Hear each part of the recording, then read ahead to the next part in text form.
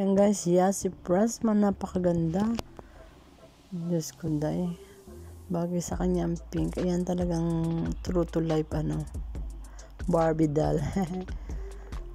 ang ganda mo, Yasi.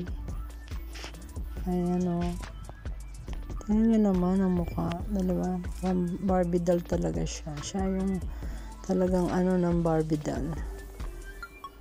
Yung image, ayan o. Oh photoshoot yan guys. Siguro may gagawing commercial siya. Ayan. Naka pink na pink diba?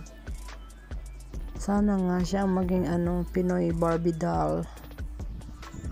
Pinoy version ng Barbie doll. Niya si Pressman Tisay bagay na bagay siya. Diba?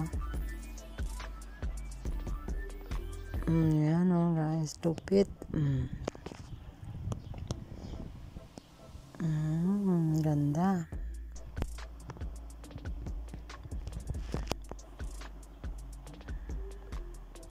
Hmm, yan o. Oh. Bagay siya siguro shampoo kung anong commercial yung gagawin niya. Basta nag-photoshoot siya. Ayan, ayan na. Oh. Mga kuha niya lahat ayos. Lahat patok.